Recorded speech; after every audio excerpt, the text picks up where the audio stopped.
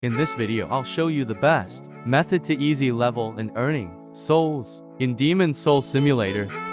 So if you can see I can't walk through this barrier.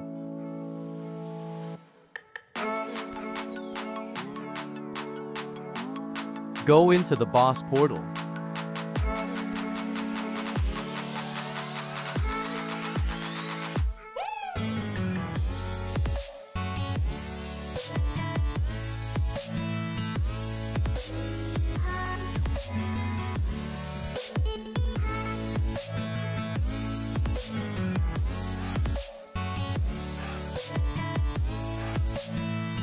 Now switch to Zenitsu.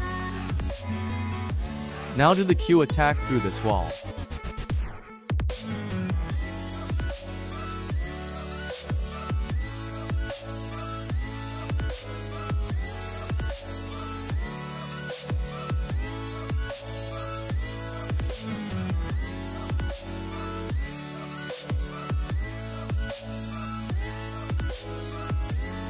As you can see, I'm on the other side of the barrier now.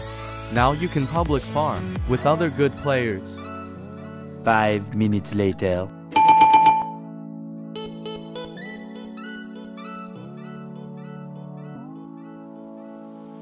A few minutes later. And with that super trick I just got, over level 50 in under 60 minutes. If this video helped you please leave it a like.